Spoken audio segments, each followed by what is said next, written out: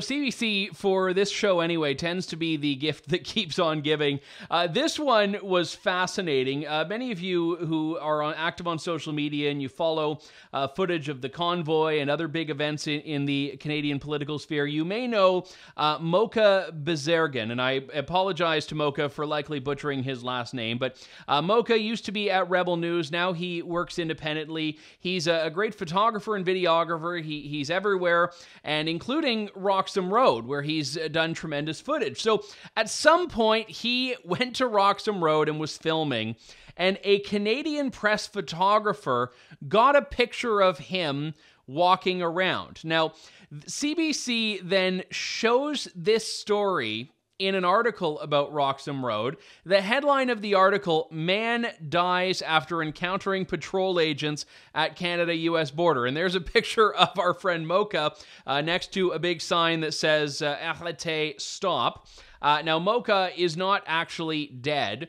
Uh, and if you look at the caption of the photo, it gets even more concerning because they offer a biographical description of him as being a migrant waiting for transport. so uh, they, they've not only killed off Mocha, but they've also taken away his Canadian citizenship of 21 years and made him an illegal. Uh, and, you know, again, is it sinister? No, it sure as heck is lazy, though lazy reporting and you know the whole issue with Rock, Roxham Road, which I covered while I was at the Toronto Sun before I came to True North, has been a huge um, issue that has filtered into our cities. It's impacted on the city of Toronto, where I make my home.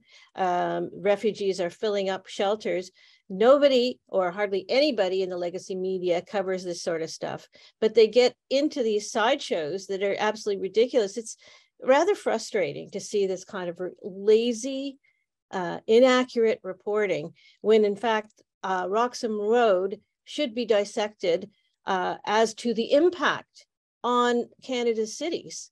As I said, in particular Toronto, I, I think what's happened is Quebec has diverted a lot of the refugees who are crossing the border illegally and being allowed to cross the border illegally, I don't understand it at all, now to Ontario. And it's Ontario's problem now. Yeah, and I mean, obviously, the this nonsense about the photo is is a bit of a, a sidebar to the overarching issue, and and the media, I, I think, has done a tremendous disservice by buying into the government's language of this being irregular migration instead of illegal migration. They refuse to call illegal immigration illegal immigration, which is part of the problem here because this is about narratives, and you've got the federal government saying on one hand, you know, oh yes, we're taking this seriously, but it's complicated, and yeah, it's not just as easy as going there and turning people away. But that's exactly what they did during COVID, at least in the earlier part of the pandemic. And now they've just gone back to this being a, a an open, I don't even think a revolving door because no one's going the other way. It's just a, a one way red carpet.